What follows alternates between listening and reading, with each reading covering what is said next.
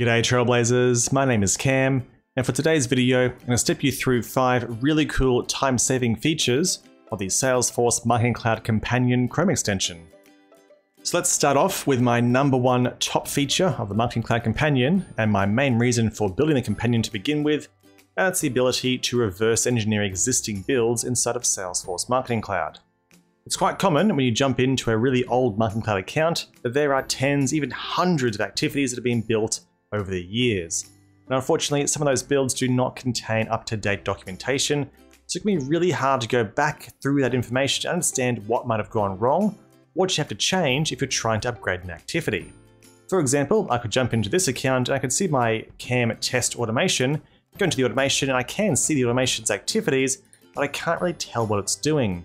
And most annoyingly, if I want to go in and have a look at this SQL activity, I have to go in and do the view edit, which of course I can't because my automation is currently live and active. And if this is in production, I probably can't go and pause this automation. So I have to then jump into my activities, into my SQL activities, and search for it that way, which can take a lot of precious time. So instead, I can use my Chrome extension, my SFMC companion, I can click on it here, and I can see my little blue link, which is to open up this automation inside of the companion. Click that link and it launches my automation straight away. I can see here is my contact analysis SQL. I can click on that link and straight away here is my activity, my query activity. It's stored in my private folder. It targets my contact delete data extension. Great. And here is the SQL. Most importantly, I can then quickly navigate through and find the related entities for this SQL.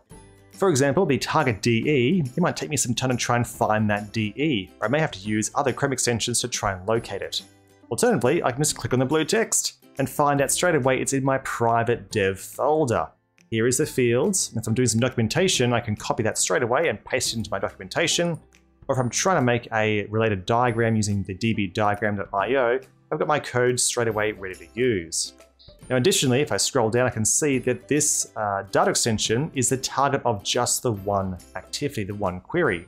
So straight away I can see that this data extension is getting its data from just one location that makes my documentation a lot easier.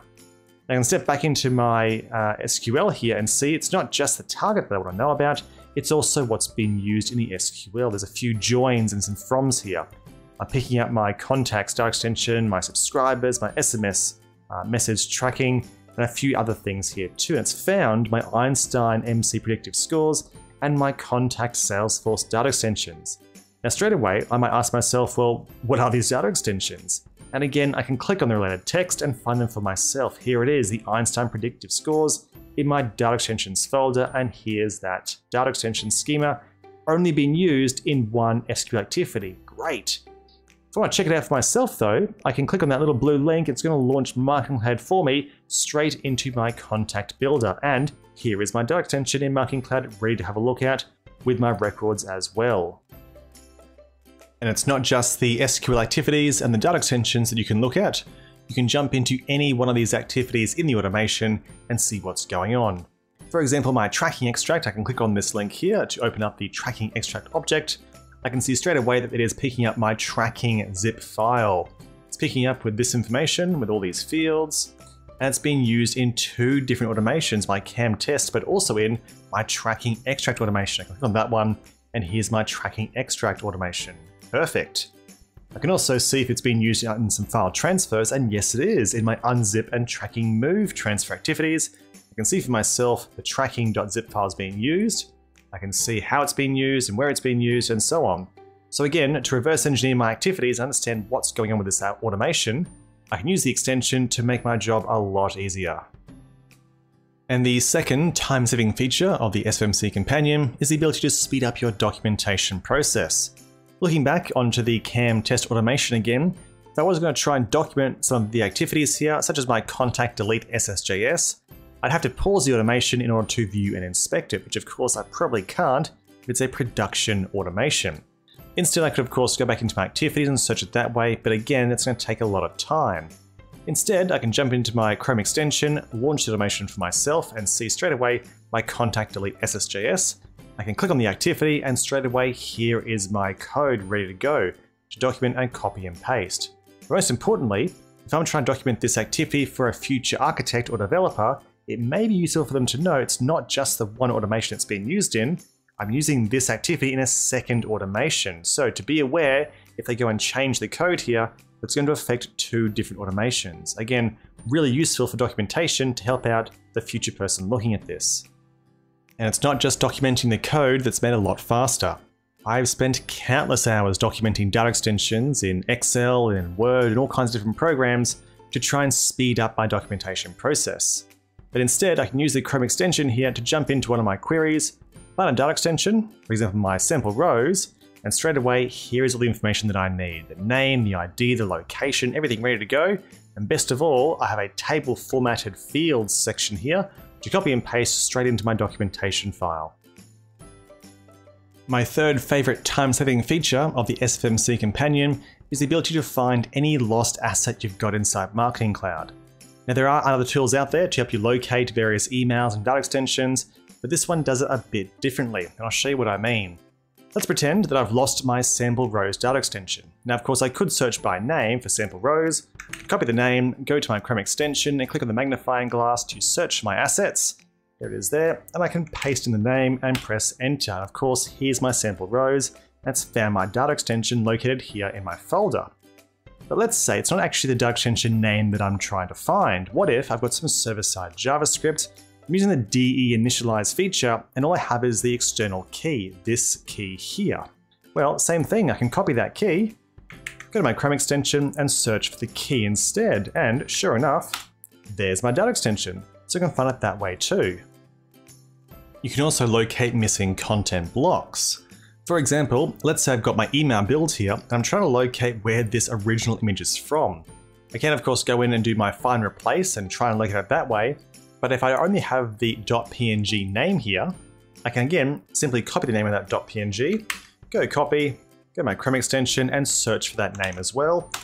And there it is, there's my image. And where's it saved? In my test assets. That's where I put it. I can also search from the URL. So if I have sent this email to myself, and I have the published image link, I can copy that image link, and same thing, go to my Chrome extension and go search and paste the URL, and there it is there. Another way to find that asset. And speaking of tracking down missing content, you can also use the SFMC Companion to find your lost cloud pages. For example, if you ever logged into a Marketing Cloud account and found multiple preference centers and unsubscribed pages, you're not sure which one's in production, you can quite simply find a recently sent email or send a test one to yourself, click on the unsubscribe link and copy the URL. I get my URL here, copy it, go into my Chrome extension and find based on my URL and paste. There it is, my sign up form. I can find where it is, it's in my exercises folder. Perfect, so I can jump back into my cloud pages, go exercises, and sure enough, there is my sign up form. Easy as that. Not just that, you can also find out the asset information and some other details, not to mention I'm working on something special here as well. My fourth time-saving tip for the SFMC Companion is the data dependency methods that you can follow. For example, I've got a really mean looking data extension here called update all subscribers. Now if I saw this, I'd be pretty concerned. I'm not sure where this data is coming from. But I can straight away find out for myself by loading it up into my SFMC Companion. I can jump into the object and sure enough, my data extension here called update all subscribers, and here it is. I can see where it's saved and more importantly, how it's getting populated. Now straight away there is one query targeting my data extension so I can reverse engineer it and go back and have a look at that query. And sure enough, it's got the information coming from my contact Salesforce and my subscribers tables. Perfect. So I can now look back at my dependency of that data extension and see how it's been populated. But I can check it for myself and know that my contact Salesforce data extension is coming from one of my main synchronized data extensions. So I know for a fact that the data that I'm going to see inside of my update or subscribers should be coming from my SFDC instance. You can also track your data dependency in the opposite direction.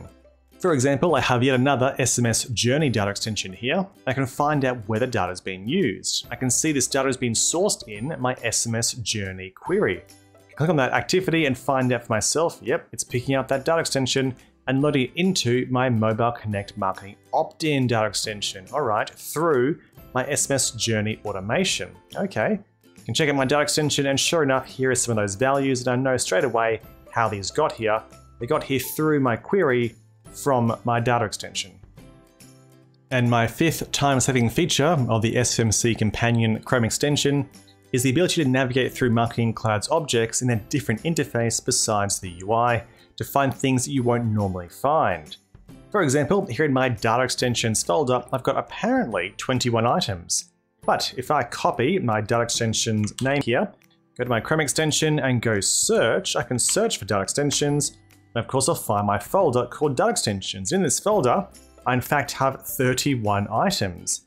Now I do have my CAM test API ZZZ and my journey audience. I of course have here my journey audience and there's my CAM test API, but I've also got a few more things. If I scroll down, I'll find out what they are. And if I scroll down, I'll find, well, here we go. We've got push tag, push address, mobile subscription, mobile address. I've got some things you can't normally find in the interface. And straight away, here is that hidden mobile address data view. And I can see for myself, here are the fields ready for me to copy and paste into documentation. And again, they're referenced up as how I'm using them in my current queries and automations. And it's not just the content of those folders that you can search either. You can also search for other folders. For example, the data extensions folder has 35 other sibling folders. I can click on my sibling folder relationship here and find my emails, my templates, my lists, and all the other folders you may recognize from Salesforce Marketing Cloud. I can scroll down and find, for example, my automations folder. I can click into that folder, and of course I've got three automations in that folder but that folder has three child folders, my data factory, my public, and my private. In my public folder, apparently I've got 11 automations. Well, I can check it out for myself.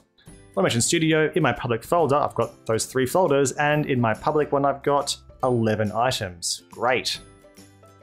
I can go back to my data extension folder and find some more folders. For example, my siblings, Let's scroll down and we'll find some more content to search for. Let's go Content Builder. Inside my Content Builder, I've got a few folders. Of course, my code snippets. Worth checking out my code snippets video. In this one, I have six code snippets, and here they all are. Go check it out for myself. In my code snippets, I indeed do have six items. So there's five time-saving and hopefully really cool reasons for you to download the SFMC Companion for Chrome and try it out for yourself. As you try it out, if you have any bugs or problems, make sure you raise it in the feedback section. You click on the Chrome extension here with right click and open up the options section here and you'll find my information. You'll find my SFMC companion feedback and bug form. Let me know what you think of it and don't forget to fill out any bugs as well so we can keep improving the Chrome extension. And if you like this video, or if you enjoyed using the SFMC Companion Chrome extension, then please let me know in the comments below and give the video a big thumbs up. And don't forget to subscribe to my YouTube channel so you're notified when I release more Salesforce Marketing Cloud content.